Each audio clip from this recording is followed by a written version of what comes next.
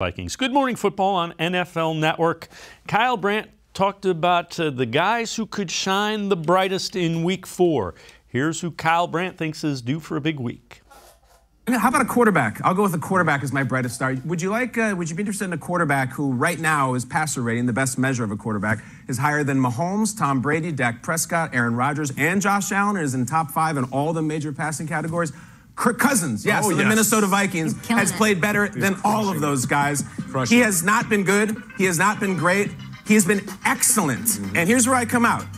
Kirk Cousins is a very easy target for a lot of different reasons, many of them self imposed. A lot of people like making fun of Kirk Cousins. A lot of people like have issues with Kirk Cousins. That's fine.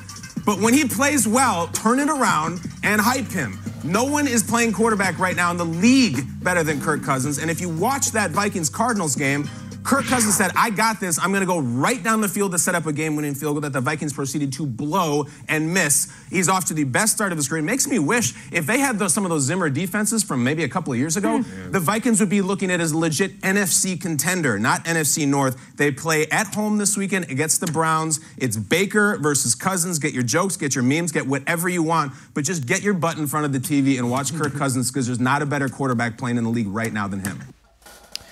And Mac Robinson, earlier in the week, we he- heard Dalvin Cook say exactly the same thing uh, on this show.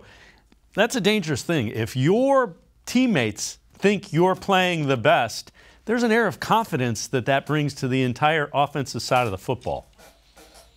Yeah, and especially too, I mean, with the receivers and, and the skill position guys that he has around him, it makes sense. And, and again, when it comes to Kirk Cousins, when he's firing on all cylinders, I expect nothing less out of him. You know, again, he's somebody who manages and, and doesn't really turn the ball over, obviously, as he's shown this year. So, you know, he's somebody who I think that when he's playing at his best, I think that he's somebody who can be very dangerous in this league, depending on who he has around him. So again, I, I look at you know Justin Jefferson. I think that he could possibly have a, a big day um, because again, it depends on who's covering who. You know, I, I think that Denzel Ward, you know, he's played well, uh, played well last week, but at the same time, you know, he got picked on a little bit early on in the season. So you know, I'm going to be interested to see how they attack this defense, and I, I do think that it could it could turn into a, a bit of a dogfight uh, as the game goes on through the air. So you know, again, going through uh, the way that this offense performs, I think that Kirk Cousins playing at the top of his game,